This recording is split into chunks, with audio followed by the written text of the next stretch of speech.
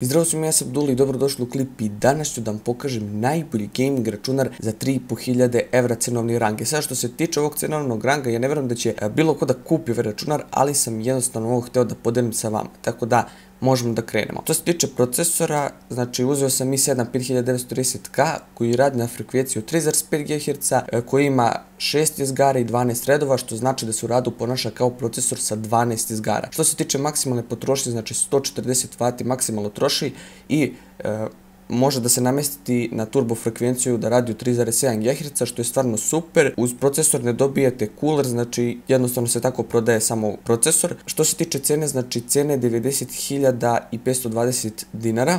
Ako plaćate u kešu, onda je 84.285 dinara, mada ja sam tako računao da bi spalo ono jeftinije. Tako da to je to što se tiče tog procesora, gledao sam isto dosta testov na YouTube-u stvarno je moćan procesor, nema šta. Idemo dalje. Sledeće je hlađenje. Što se tiče hlađenja, znači uzeo sam Cooler Masterovo vodeno hlađenje. 20 mm su ventilatori, znači 240 mm je radijator, tako da po meni ono super hlađenje i garancija je 5 godina. Cena je 14.335 dinara, tako da po meni ovo super vodeno hlađenje, a mi idemo dalje. A sledeći grafička kartica. Što se tiče grafičke kartice, uzeo sam Asusovu ovu novu GTX 1080, znači sa ovom grafičkom karticom sigurno ćete moći da igrate sve igrice u 4K rezoluciji, znači po meni je ova grafička premoćna. Gledao sam isto testove ove grafičke u igrici GTA 5, znači u 4K radi lagano. To se tiče samo cene, nisam rekao, znači cena je 100.680 dinara ako plaćate u gotovini, znači imate popust od 8.480 dinara ako gotovinski plaćate, ako ne onda je cena 109.160 dinara, mada ja sam računao cenu kada plaćate gotovinski i veličina memorije 8 GB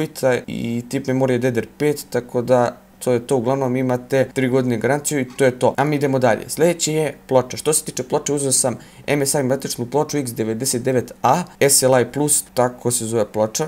Jeste, nisam pogrešio.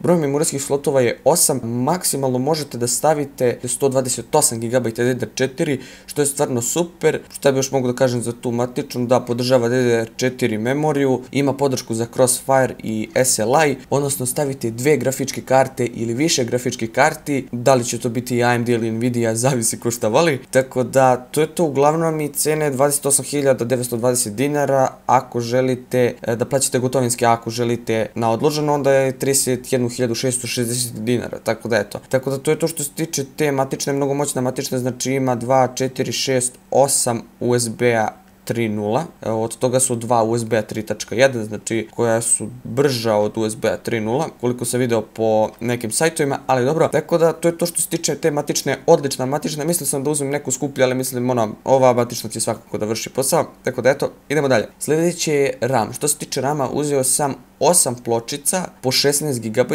DDR4 koji radi na 2400 MHz, jedna pločica košta 9150 dinara, znači spalo mi preko 73.000 dinara otprilike, mislim da sam dobro izačao. Jesu, valjda. I uh, jako dobro je što se tiče ovog rama je što ima garanciju 10 godina, tako da po meni je to premoćno. I to je to što se tiče rama, idemo dalje. Sledeće je SSD. Što se tiče SSD, uzao sam Samsung SSD od 1 TB, čija je brzina čitanja 550 MB i brzina pisanja 512 MB i ima garanciju 10 godina. Premoćno. Cena sa popustom je, odnosno ako plaćate gotovinski, 57.000 je cena 535 dinara i to je to uglavnom. Idemo dalje. Sljedeći je hard disk. Što se tiče hard diska, uzeo sam Western Digital od 6 terabajta hard disk. Brzina obrtanja je 7200 RPM-a, garancija je 2 godine i cena ovog hard diska je 40.025 dinara ako plaćate gotovinski. Tako da, to je to što se tiče tog hard diska. Idemo dalje. Sljedeći je Cooler Masterovo napajanje. E, što se tiče napajanja, uzeo sam napajanje modularno od 850 W, ima 80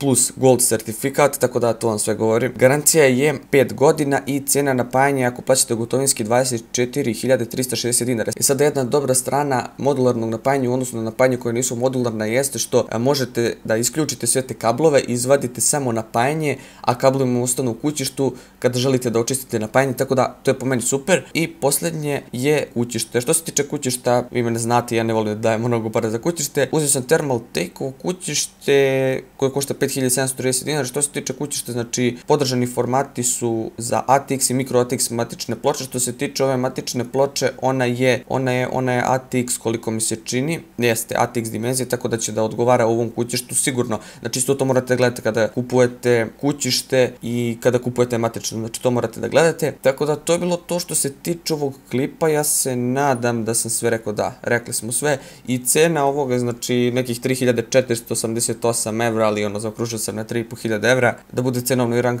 tako da složit ćete se jeste, dosta je, znam, ne verujem da će bilo ko da kupi, ali opet ponavljam, ja sam to želeo da podelim sa vama, da znate ipak trenutno sada u ovom trenutku u Srbiji, znači za cenovni rang u 3500 evra kakvu mašinu možete da kupite. Tako da to je bilo to što se tiče ovog klipa. Napišite vaše mišljenje o ovoj konfiguraciji. Ako je neko možda bolju konfiguraciju napravio nego što sam ja sada za ovaj cenovni rang, može da napiše dole ispod klipa, neću se ljutim, nema veze. Tako da to bi bilo to i vidimo se.